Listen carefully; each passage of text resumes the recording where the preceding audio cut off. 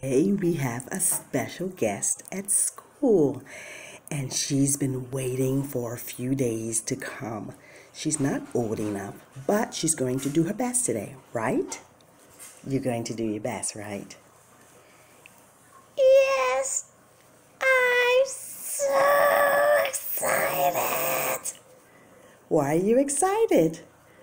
School, school, school, school, school, school, school, school, school, school, school.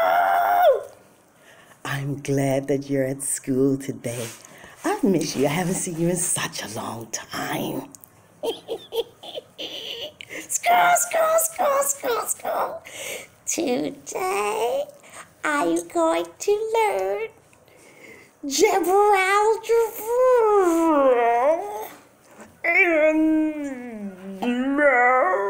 and letters, I think. Well, you're not going to learn algebra. And yes, you'll learn letters. You're not old enough to do algebra yet. But I think you will be soon. I know you'll be so excited when you get to learn.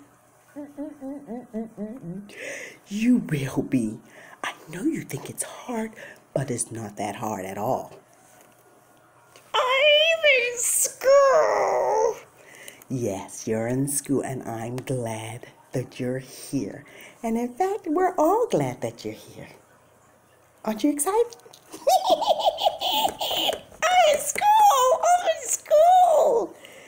Well, I would like to personally invite you to school today and to enjoy the day with us because we can't wait to spend the day with you.